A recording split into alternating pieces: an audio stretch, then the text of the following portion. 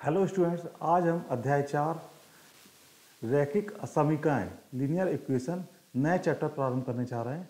तो सबसे पहले बच्चे, इसके नियम क्या हैं और इसको, इसके फंडामेंटल्स इसके बारे में हम समझेंगे। तो सभी छात्र देखें। तो सबसे पहले हम इसकी परिभाषा देखते हैं। एक असमिका दो वास्तविक संख्याओं या परिमेय व्यंजकों के बीच में less than greater than less और इक्वल एंड ग्रेटर और इक्वल का चिन्ह प्रयोग करके बनाते हैं। तो जैसे यहाँ लिखा है three less than five seven greater than five तो ये हमको संख्याओं में असमिका के उदाहरण हैं। और यदि हम यहाँ चर का उपयोग करते हैं तो इसको चरांक असमिका के उदाहरण कहते हैं। तो बच्चे समझ गए होंगे कि यदि हमने x इक्वल टू फाइव लिखा तो यह क्या कहलाएगा आपका? समीकरण। और यदि हम ऐसा लिखते हैं कि x less than five x greater than five x less और इक्वल फाइव और x ग्रेटर और इक्वल फाइव तो इनको क्या बोलेंगे हम? असमीकरण। तो दोनों में अंतर समझ गए? अगर इक्वल का चिन्ह लगाते हैं तो समीकरण। और अगर इन लेस देन और ग्रेटर देन का चिन्ह लगाते हैं तो असमीका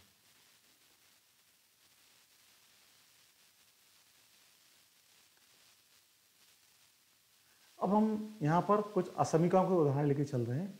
तो यहाँ देखेंगे आप कि जिनमें सिर्फ़ लेस देन का चिन्ह लगा है। इक्वल का चिन्ह नहीं है। जैसे क्वेश्चन उदाहरण नंबर पाँच, छ नौ दस और फोर्टीन इसमें सिर्फ़ लेस देन का चिन्ह लगा है लेस देन या ग्रेटर चिन्ह तो उसको हम बोलेंगे सुनिश्चित असमीका। इसको क्या बोलेंगे? सुनिश्चित असमीका। और जिसमें इक्वल का चिन्ह भी लगा हुआ है इक्वल का चिन्ह किसमें लगा हुआ है? Seventh eighth eleven twelve and thirteen तो इनमें इक्वल का भी चिन्ह लगा है, इसीलिए इनको हम असमीका बस कहेंगे। तो दोनों में अंतर समझ लेंगे। ठीक है? अब हमको यह देखा है कि अगर एक समीकरण के दोनों पक्ष में समान संख्याएँ जोड़ी जा सकती हैं तो जैसे मान लो हमने बोला कि x लेस देन और इक्वल फाइव तो दोनों में एक समान संख्या जोड़ सकते हैं। तो दोनों संख्या अभी हमने थ्री को जोड़ दिया तो वह आ जाएगा फाइव लेस देन थ्री इसका मतलब क्या आ जाएगा?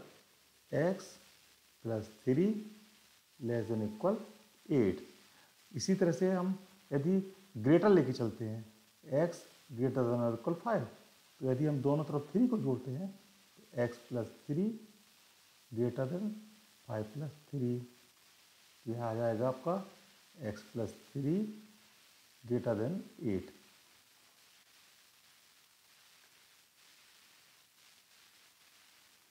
किसी समीकरण के नियम नंबर दो, किसी समीकरण के दोनों पक्षों में समान शून्यता संख्या का गुणा किया जा सकता है। तो यदि जैसे एक समीकरण दिया हुआ है कि x लेस देन फाइव तो इसमें दोनों में नॉन निगेटिव नंबर का नॉन निगेटिव कौन सा? थ्री का, मान लो मल्टीप्लाई करें तो three x less than equal three into five तो कितना आ जाएगा? Three x less than equal fifteen इसी प्रकार से ग्रेटर भी यूज़ करते हैं। अगर less than greater than five है तो दोनों तरफ़ थ्री का मल्टीप्लाई किया।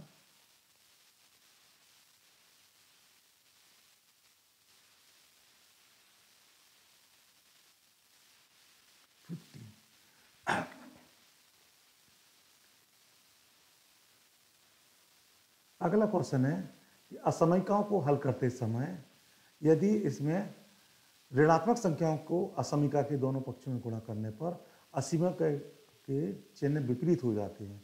यहाँ बच्चे देखें कि मान लो, जैसे हमने बोला कि x less than equal five है। अब यदि हम दोनों में ऋणात्मक संख्या का गुणा करते हैं, ऋणात्मक संख्या का गुणा करेंगे तो इसके चिन्ह बदल जाएँगे। लेस देन की जगह क्या हो जाएगा? ग्रेटर देन इसका मतलब क्या आ गया? Minus three x greater equal minus fifteen. इसी तरह से यदि x ग्रेटर देन फाइव है तो यदि हम इसमें माइनस थ्री का मल्टीप्लाई करें तो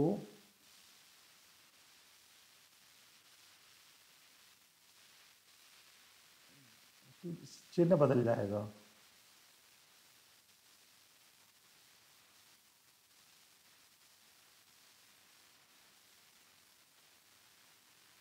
क्लियर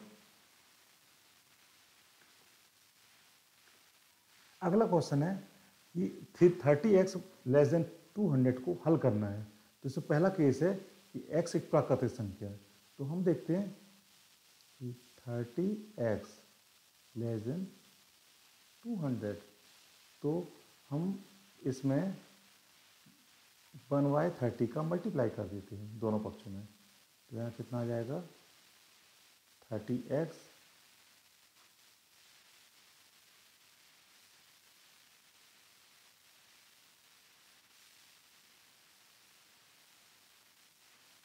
less than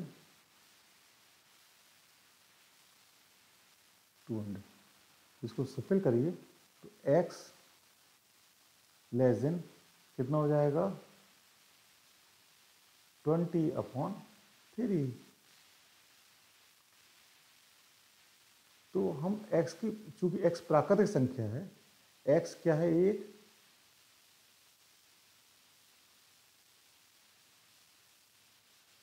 पूर्णांक है। सॉरी x क्या है ये?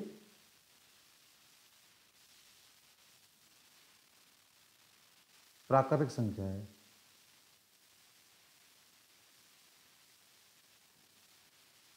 इसीलिए x की वैल्यू जो होगी one two three four five and six क्योंकि ट्वेंटी अपॉन थ्री जो है उससे पहले की प्राकृतिक संख्याएँ सिक्स तक होंगी। और यदि सेकंड में एक्स एक पूर्णांक है तो एक्स के मान क्या होंगे? ऋणात्मक पूरी संख्या है one two three four, five, six, ये आंसर होंगे। तो पूर्णांक संख्या ऋणात्मक भी संभव है तो ऋणात्मक की जितनी भी संख्या है, पूर्णांक संख्या है, वो सारी संख्या आ जाएँगी। ज़ीरो आएगा, one, two, three, four, five, six तक आएगा। तो पूर्णांक के केस में यह आंसर होगा और प्राकृतिक संख्या के केस में यह आंसर होगा। क्लियर?